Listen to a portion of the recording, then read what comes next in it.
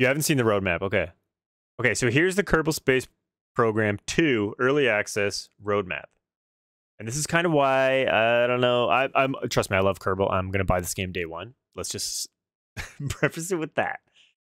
But uh here's the roadmap. And here's what they're planning on doing. So wait, I'm, my head's kind of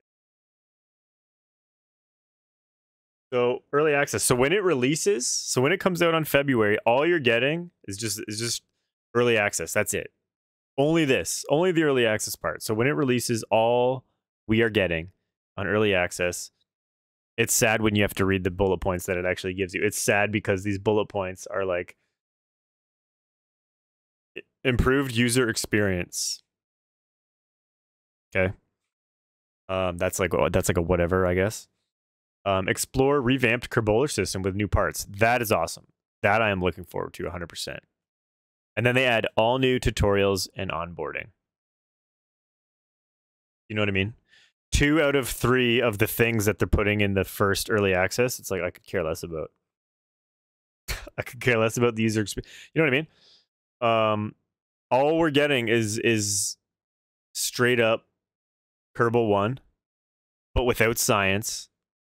No, there's no science. This is coming later. Science gathering, tech tree progression, that's coming later colonies, colony parts, orbital vehicle construction, that's coming later.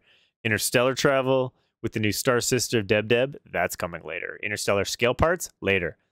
Exploration, um, new star system to be revealed, resource gathering, right? And then finally multiplayer, like way down here, multiplayer.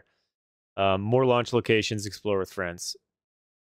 And a lot of people have been saying, like on Reddit, and I can kind of see, you know, the naysayers of this, which I, I don't know if I am one yet. I don't know if I'm, I'm one yet. I'm, I'm yet to say it, but you know, they're saying that down the line, like they're just going to release this game, and it's going to be like some most of this stuff is going to end up being DLC that you're going to have to pay for anyways.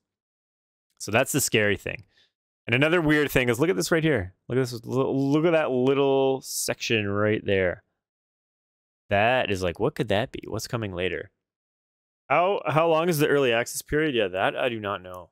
Um, I don't know, and I don't think they know, and that's why I'm kind of like that's that is this is the reason mainly why I'm like, I don't know. You know what I mean? We get into it, do we not? I'm gonna get it, but it's like there's no science, there's no tech tree progression, there's no nothing. There's just like get in and sandbox it. I guess get in and just sandbox to uh, the planets you've already been to in the first Kerbal. that's what hurt.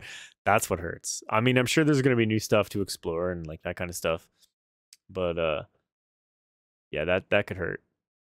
Science and colonies are free in one. Yeah, I, I I don't know. I'm I'm really hoping that this will be all. This is going to be all included in the game. I'm really hoping that they do that.